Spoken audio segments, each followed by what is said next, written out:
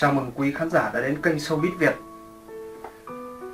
Kính chúc quý khán giả có những giây phút thư giãn thật tuyệt vời bên chúng tôi. Và đừng quên đăng ký bên dưới, cũng như bấm vào chuông thông báo để nhận được những video clip mới nhất trong ngày. Và bây giờ, xin mời quý vị hãy đến với những tin tức nổi bật nhất trong ngày hôm nay.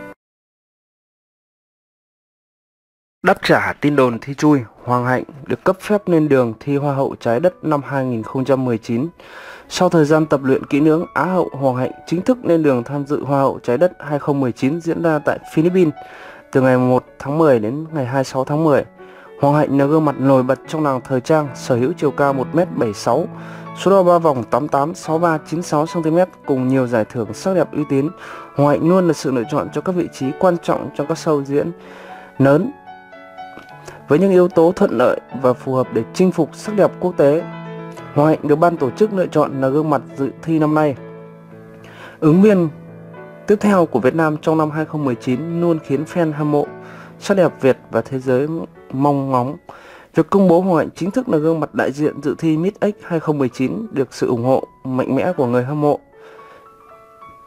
Hoàng Hạnh quê ở Nghệ An, cô sinh năm 1992 và có rất nhiều giải thưởng danh giá như giải nhất người đẹp nàng vạc 2012, giải nhất người đẹp nàng sen 2012, hoa khôi thời trang 2015, Á quân 1 Miss Hà Nội Model 2014, Á hậu Miss Asia BLT 2017. Trước đây, cô là vận động viên Taekwondo và giành 10 huy chương cấp quốc gia trong suốt sự nghiệp thi đấu. Sau này chấn thương, cô sẽ hướng thi sắc đẹp và bén duyên làm người mẫu.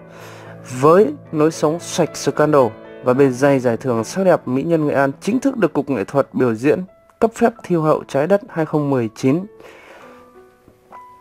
Khi biết mình là một trong những ứng viên có thể được chọn thi Miss X 2019, Hoàng Hạnh đã có thời gian qua Philippines tập luyện với các chuyên gia ca quắc hàng đầu tại cường quốc này.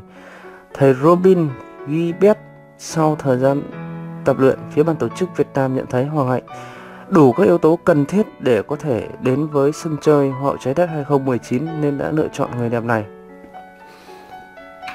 Miss là cuộc thi đề cao tinh thần, trí tuệ và kêu gọi ý thức bảo vệ môi trường. Hoàng Hạnh cho biết cô rất thích mục đích ý nghĩa cao cả mà cả cuộc thi hướng đến nên rất hào hứng với sân chơi này. Năm nay Hoàng Hạnh đã chuẩn bị về các ý tưởng để bảo vệ môi trường, hy vọng thay đổi được ý thức xả rác thải nhựa của người dân.